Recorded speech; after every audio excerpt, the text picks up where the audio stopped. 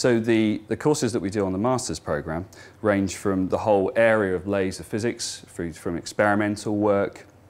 through to all the fundamental laser side, uh, through to fabrication, which is the area that we specialise here in Southampton, uh, where the students will then go and actually use some of the equipment and then ultimately in their project, then they'll try to bring all of those areas together to, to build some sort of system or characterize or maybe do some modeling. And so actually the, the master's program is designed to work around the strengths of the students, but there's a core set of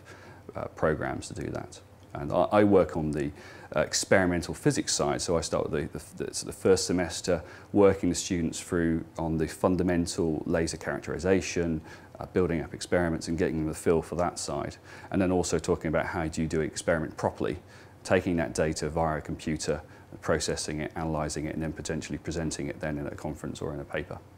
So in our PhD program, we would decide upon an initial title for the, for the student, and that would be agreed between the student and the, and the supervisors, and that could be one or up to three.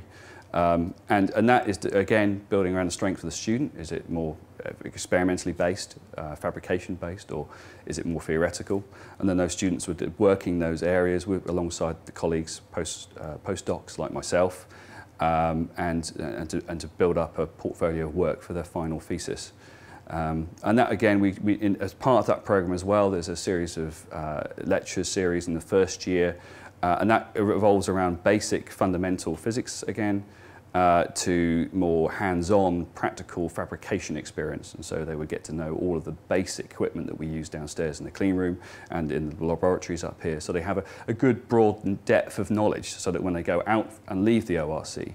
uh, into industry or into academia, they have a wide range of knowledge which will then assist them in the rest of their career.